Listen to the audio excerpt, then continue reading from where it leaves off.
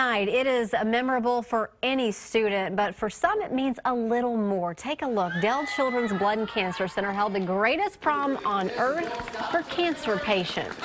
It's a day where they can just come, have fun, dance, laugh, and um, it's hopefully it's a huge distraction from what they're going through. This prom means a lot to me because this is my first prom, so I never been to prom before, so I'm very excited.